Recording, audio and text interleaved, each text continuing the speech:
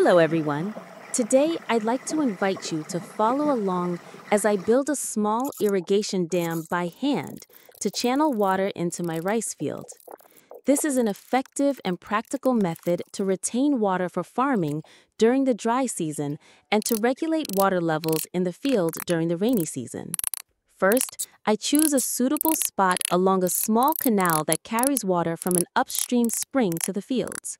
The water here flows all year round and has a stable volume, making it ideal for building a small dam.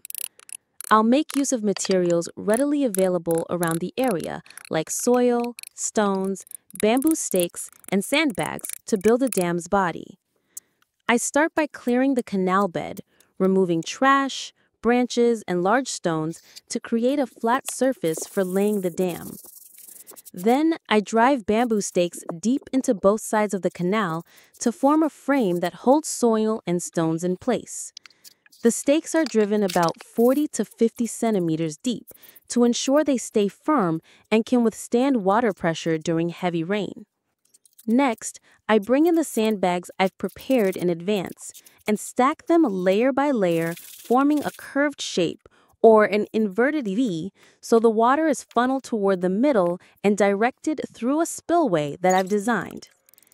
Each layer of sandbags is arranged in a staggered pattern, alternating with large stones and compacted soil to increase strength and prevent water from seeping through the dam body. At the center of the dam, I design a small spillway using either a 90 millimeter PVC pipe or a bamboo chute to lead some of the water into the rice field. The height of the spillway is carefully adjusted so that when the water level rises, water will automatically flow into the field, and when the water is low, it will be retained in the canal for other purposes. While building the dam, I also reinforce the two banks with bamboo stakes and stones to prevent erosion during floods or sudden high water. Once the dam structure is in place, I use clay or wet soil to seal the gaps between the sandbags and stones, improving water retention and minimizing leaks through the dam body. After completing the construction, I clean up the surrounding area, gather leftover materials, and secure the water pipes or bamboo chutes leading to the field. I also check the downstream canal to ensure there's no blockage from soil or debris. This small dam model can be used for many seasons. It only needs a bit of maintenance and reinforcement once or twice a year after heavy rains. The benefits are clear.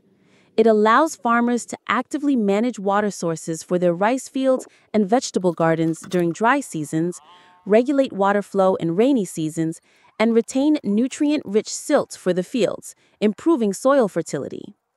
Not only does it serve my family's rice field, but this small irrigation system also helps nearby households by supplying water for their crops.